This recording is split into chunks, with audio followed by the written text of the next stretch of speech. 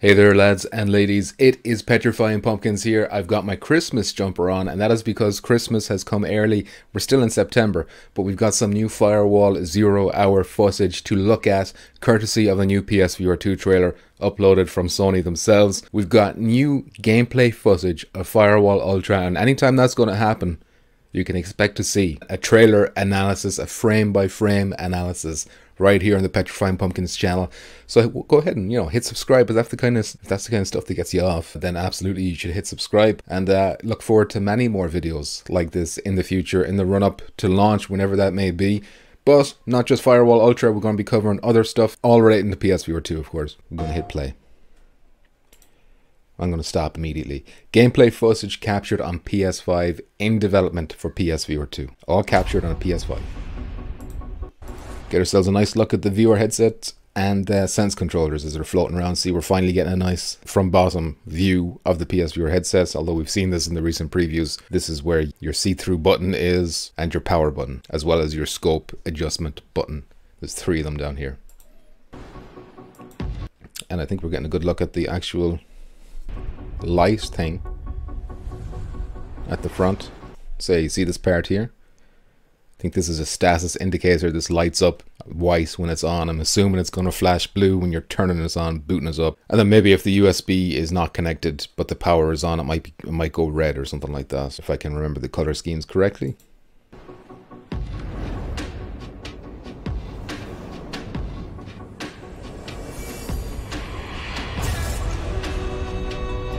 So I think this trailer overall, they uh, did a really good job with it. I think they give you a good idea of what it's like to kind of be in the game rather than like just a 3D kind of effect.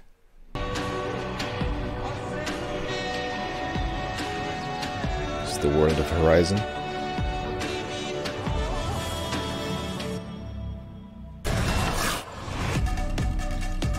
Four K HDR display. Brings vibrant worlds to life, so not really anything to talk about here. Eye tracking, this one's very, very important. And they've like really done a good job here of like demonstrating it. Like you can see the eyeball, the lens, and then that dot on the right side here, indicating where the pointer or the cursor is basically that your eye is looking at. And they demonstrate this with Firewall, which is very cool. As we see here detects and follows your vision. We'll go back, obviously. Let's play this at a lower speed. Let's bring it all the way down to 0.25. We see the contractor holding an M4 or um, Taylor CQB, but no attachments on it. And they're, they're holding it with one hand only, which is something, you know, we've yet to see what two-handed weapon handling looks like, and we don't see it in this either, which is interesting enough.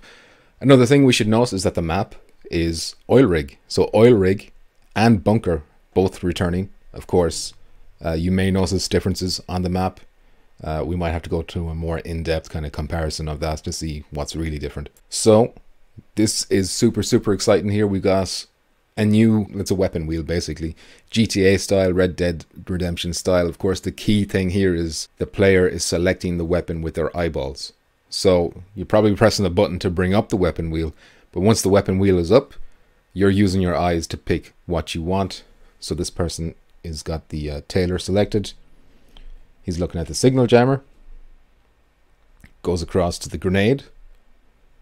Then lands on the TNK handgun. And then as soon as he lets go, the transition from rifle to handgun is instant.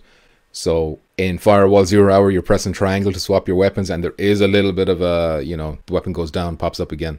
Uh, whereas this is like an instant pop into your hand. So, in theory at least, this should like drastically increase your ability to switch through weapons and stuff like and equipment. Obviously, this is another thing I want to talk about.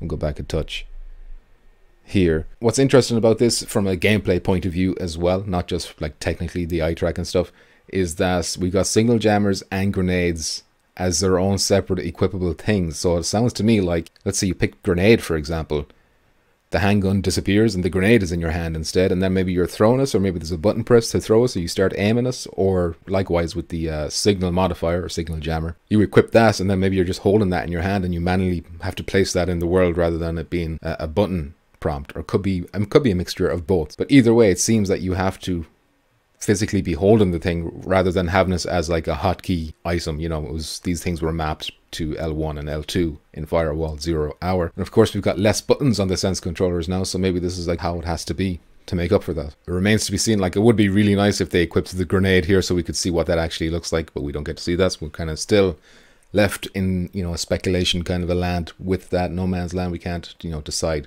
one way or the other yet.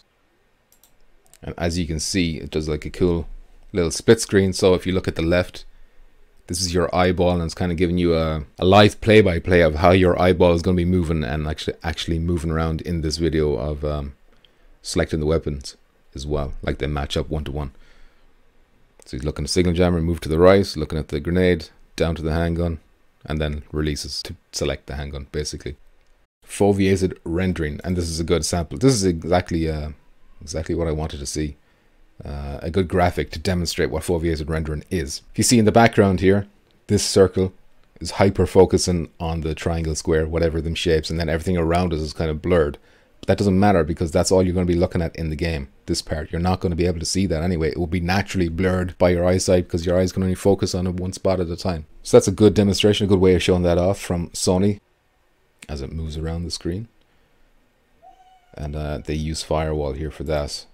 Now, again, we're on the oil rig map. Both of these contractors are equipped with flashlights. We got some stuff to digest there. So we see three contractors can we figure out like they're not very well lit they're kind of like silhouette contractors moving through the oil rig map we've got a staircase here which i'm wondering is this something i've seen before because oil rig does have two levels it has the underground level it has the above ground level where you got these offices and uh, the big tanks and whatnot and then there is like an upper level in the map that you see but you don't actually interact with now maybe is this staircase leading up to that, or am I completely mistaken? Maybe you're already on the bottom level here. I need to go back to the oil rig map and, you know, study it more to see the comparisons. So yeah, it's hard to see who this first person is at the top in the shadows. Second person with the silenced handgun kind of reminds me of Fang. His perk is Quick Hands, I believe, the quick reloading guy. You see, you got these effects going on on the left, the steam going along. You can see the flashlights simultaneously lighting up different aspects of the map. And I think they're showing us here. You can see it's like a kind of a a blurred effect on the edges and maybe it's a lot sharper over here compared to this and that's the foveus foveated rendering going on. So perhaps you're looking through the eyes of the fourth teammate that you don't see walking across this uh, walkway. In comes the third. Third teammate enters the scene, seems to be wielding a shotgun with a flashlight attached. Kind of illuminates the back of the second contractor, which kind of reveals the same kind of hairstyle as Fang. Or Fang? Is it Fang or Fang? I think it's Fang. All of a sudden, the first contractor is getting into more like a well lit area. So they're looking more identifiable and it appears to be a female contractor. Yeah, it's hard to tell for sure who these are. I think the first one, I mean, keep in mind if they're returning contractors, they've gone through redesigns or remodeling and stuff like that, so they might not have the same designs that we're used to. Uh, this contractor seems to be wearing shorts, so the legs are exposed, and I don't think there was any contractor that did that in Firewall Zero Hour, so that's a new look, even if it is like a Texas or a Jag or whoever. Second one, I mean, could be Fang, could be Skip, and then this third one, then maybe he's Fang.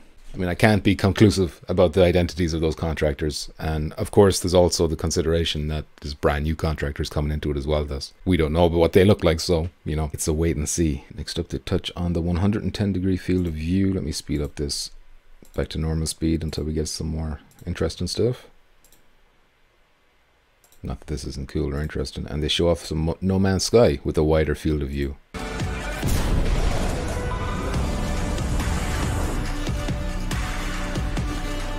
Finger touch detection. This is where we get some firewall back again. Uh, let's slow it down, but not as slow as before. Let's just get like a half speed for tactile interaction. Let's mute that because it sounds awful. So keep an eye on the finger here. Boom. This is your real finger in real life doing this. You take your finger off the trigger, it will detect where your finger is so you can give it a... You can practice trigger discipline, which is a real technique that, you know, special forces and army whatnot, they're trained in this all around the world. You don't want to put your finger on the trigger unless you're absolutely ready to shoot. So they will often have their finger like that, like it was here. That's how you tell someone is trained in using a weapon. And what's nice about that as well is that it's not just like a quick snap. You know, it's a nicely animated bend of the finger onto the trigger. And it looks really, really nice. And they say it's for tactile interaction. Now, what contractor is this? Again, you have to guess. It would probably be Okoro. Again, on the oil rig map. Let me just get a little look of what it's like to aim the gun.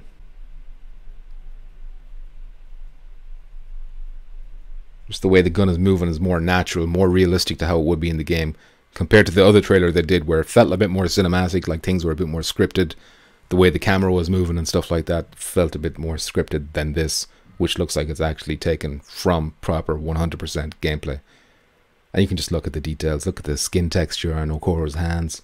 The TNK handgun he's holding here looks meticulously modeled.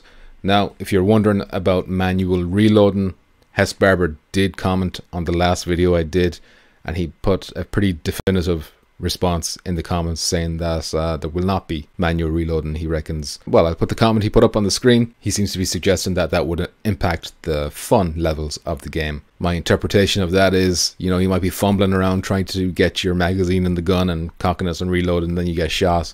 And because of that, you get frustrated rather than having fun. And then the flip side of that is pressing a button guarantees you an automatic reload every time. Now, of course, this is more of a divisive situation where I feel like a lot of people are going to be, you know, there's going to be some pushback to that. I think that, you know, people like the idea of manual reloading. And for those people to hear that will be a negative. But what this also allows for is the potential for third party or even official stocks or frames that allow you to put the sense controllers together into a more traditional two handed weapon. Because if you got a button press, then all of a sudden you don't need separate hands, you can have them fixed basically. However, because the weapon wheel, we've seen the grenade and the signal jammer seem to be separate things. Maybe you will need to use your two hands to place those or whatever. I mean, it all remains to be seen. Things are still way up in the air, and uh, we'll have to wait for further gameplay or blog posts or update from First Contact Entertainment to clarify these kind of things. Some volume back.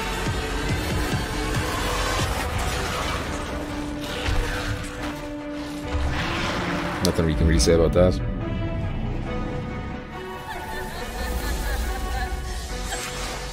So of course this is confirming that there is basically rumble in the headset itself, not just the controllers. You'll feel things on your head. So keep in mind, you know, what kind of things would Firewall use that for? I think a great one is obviously headshots. You know, if you get shot in the head, you feel like a that could be like a really cool thing. Or maybe as dicepticon pointed out, if you maybe tap your gun on somebody's head, they'll feel a little tapping or something like that. That could be fun. And they show the example here of the flies buzzing around your head in Resident Evil A's, and that will like, vibrate more subtly uh, from what I've seen of previews.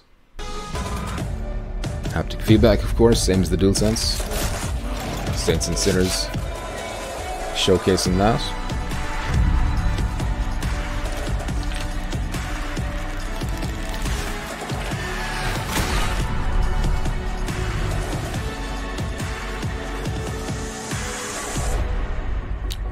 This was a really proper, sexy, high polished look at the PSVR 2. Like this is kind of what I feel like it should have been revealed as, not just like blog posts and stuff like that with a picture of it. I kind of wish this came a bit sooner.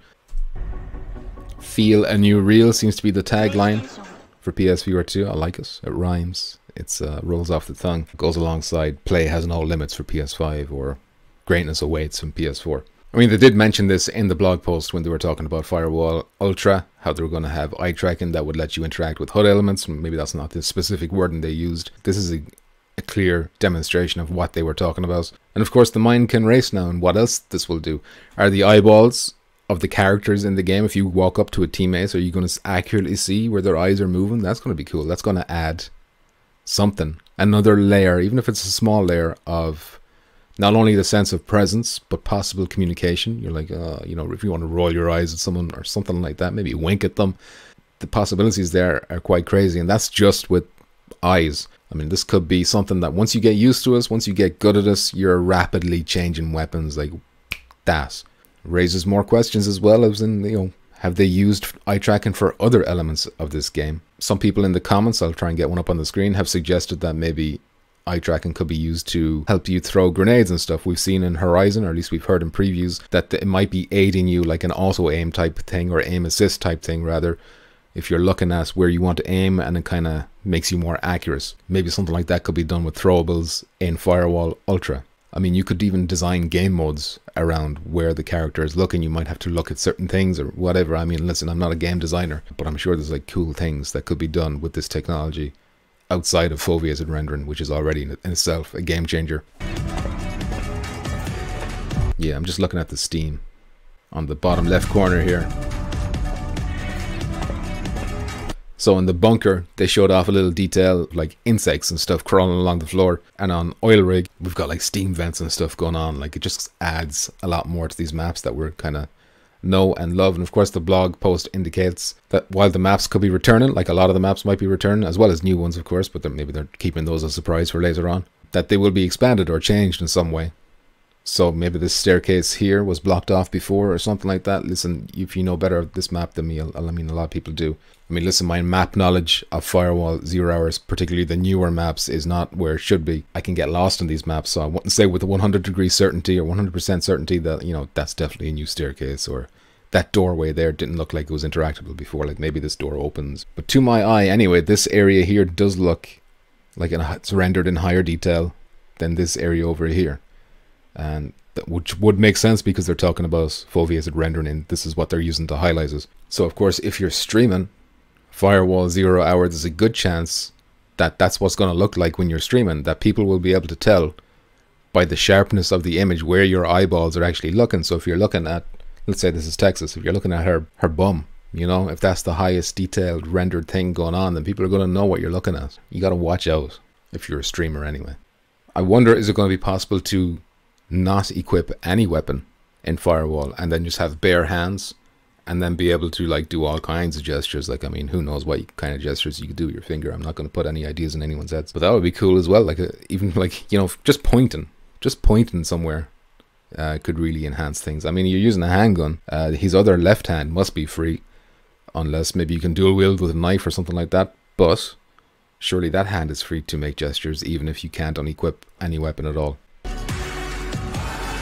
I mean, I don't know which excites me most. I mean, I guess this should be another example as well. He's definitely focusing on the gun, and the gun does look really crisp and sharp and detailed.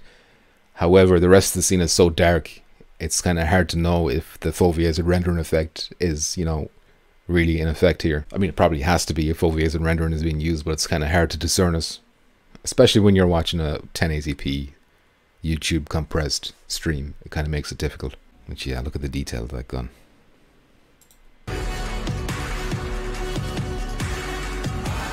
And so far, that's the only gun that they've showed up close, that TNK pistol. We've seen it with the suppressor, now we've seen it without the suppressor, and we've seen it with a flashlight as well. What annoys me about this part is that I don't know who's who. We've got a female contractor in the front, and then two males on the on the rear. Presumably, we're the fourth one, the fourth team is, if they're sticking to 4v4. That could be a clue to indicate that it is 4v4. And again, you just see all these shadows moving around the place. It just looks really, really nice. Players cast shadows going to really afford to for the mouse to be made much much darker much more atmospheric. So yeah that is it for this video lads and ladies this kind of analysis frame by frame analysis. Um, there's a good chance i missed stuff here because again this is like just on me. This is my first chance to get onto the laptop. Uh, look at this on a bigger screen. I will look over this again if i find anything else I will, of course, make another video about this. Uh, another thing, I already mentioned it, but an important thing to know. So let me know what you think about the eye tracking. Is this going to be like a really, is this going to be some kind of a game changer, you know, or is it just like a novelty thing, maybe, in your opinion? And of course, the finger tracking. Is that something that excites you, etc., uh, etc.? Et let me know in the comments below and we'll talk about it. I hope you're all as moist and excited as I am over Firewall Ultra. Again, we don't know when it's coming out. Fingers crossed it'll be close to the launch of the PSVR 2 itself, which is early 2023. Thanks for watching, lads and ladies. Please stay nice and moist.